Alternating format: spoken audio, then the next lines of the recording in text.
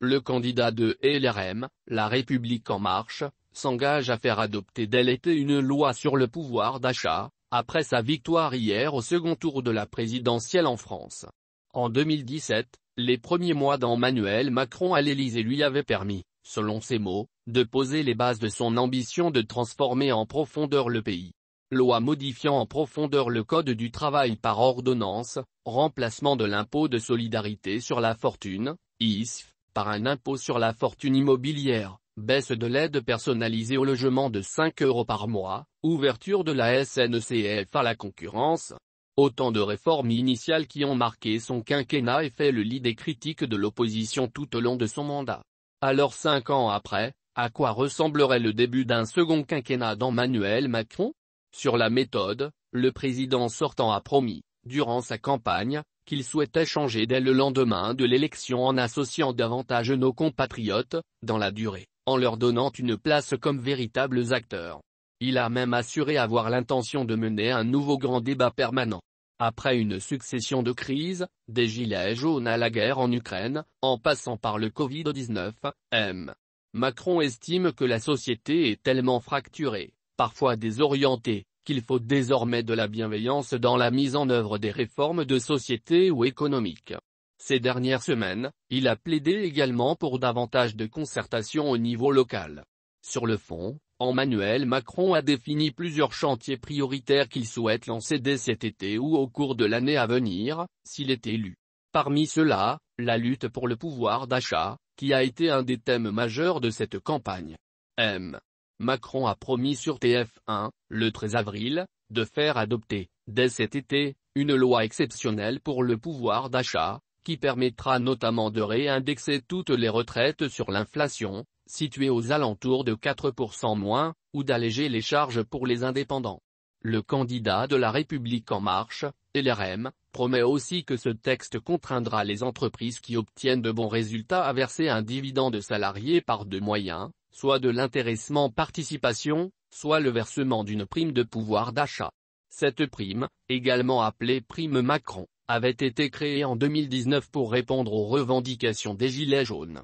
Elle permet aux employeurs de verser aux salariés gagnant moins de trois fois le SMI c'est une prime exonérée d'impôts pour le salarié et de cotisations sociales pour le patron.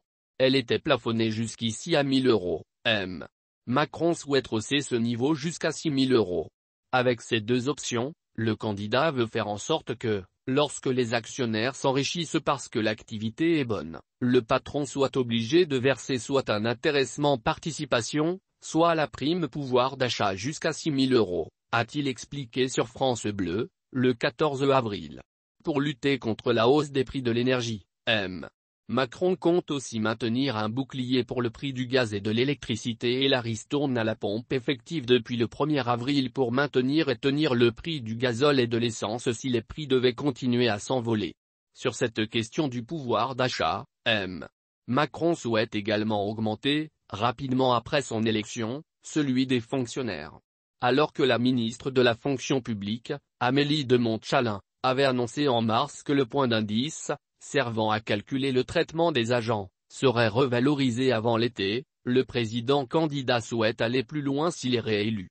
Sur France Info, le 15 avril, il a annoncé que, à l'été, le futur gouvernement sera chargé de faire une réforme complète des grilles et de l'organisation de la fonction publique.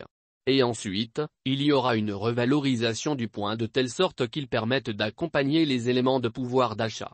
Ensuite, M.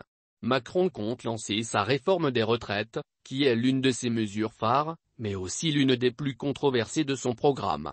Alors qu'initialement il souhaitait rehausser l'âge légal de départ à la retraite de 62 à 65 ans et le faire dès la fin de l'été, le candidat a dû évoluer durant l'entre-deux tours face aux critiques. Sur la méthode, d'abord, il souhaite désormais lancer la réforme plutôt dès l'automne prochain en privilégiant la concertation avec les partenaires sociaux. Sur le contenu, il souhaite repousser désormais de 4 mois par an l'âge de départ pour arriver à 64 ans en 2027-2028 et mettre en place une clause de revoyure pour examiner s'il faut aller jusqu'à 65 ans à l'horizon 2031. Il ambitionne également, dans ce projet de loi sur le pouvoir d'achat, d'augmenter la pension minimale de retraite à taux plein à 1100 euros contre 980 euros actuellement. M. Macron se fait plus flou sur les échéances de ses autres chantiers prioritaires. Dans une interview au Figaro, au début d'avril, il a promis de lancer les réformes sur l'école, la santé, l'autonomie et la justice dès la première année, sans plus de précision. Sur l'école et la santé, il promet, là aussi, une nouvelle méthode faisant appel à une large concertation des acteurs de ces deux milieux pour adapter les solutions aux réalités de terrain. Pour l'éducation, M. Macron compte notamment augmenter de manière significative le traitement des enseignants et définir avec eux de nouvelles missions. Et sur la santé, après deux ans de crise sanitaire, il promet de renforcer la politique de prévention, la simplification de l'hôpital et de sa gouvernance et l'amélioration de l'accès aux soins en urgence. Enfin, sur la diplomatie et les affaires étrangères, le chef de l'État sortant compte poursuivre la tradition des présidents élus en se rendant rapidement à Berlin pour rencontrer le chancelier allemand, Olaf Scholz. En mai 2017, il avait déjà réservé sa première visite à sa prédécesseur, Angela Merkel.